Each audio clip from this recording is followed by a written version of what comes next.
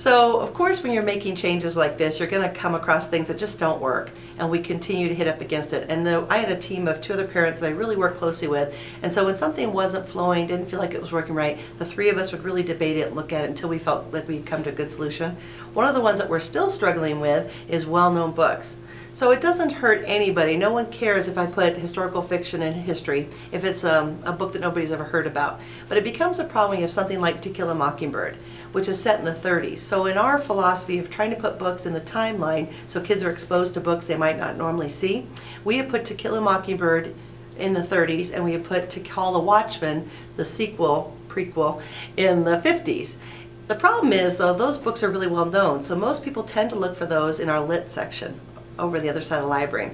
So philosophically, is it better to have it over in the timeline? It probably is, because it exposes kids to things in the 30s they might not have read if they if I just gave them nonfiction. But realistically, people keep looking for literature. Again, it doesn't matter at all if it's books that nobody's ever heard about. People are happy to have them over in that section so they can browse.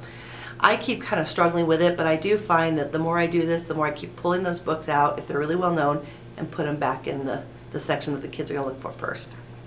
That's one of the really nice things about the system. It's really flexible. So if you find things like this that you don't like that I've put in place, or if you've tried something different that wasn't even on the grid, you can always flex it. It's not a set system the way Dewey was It's really restrictive.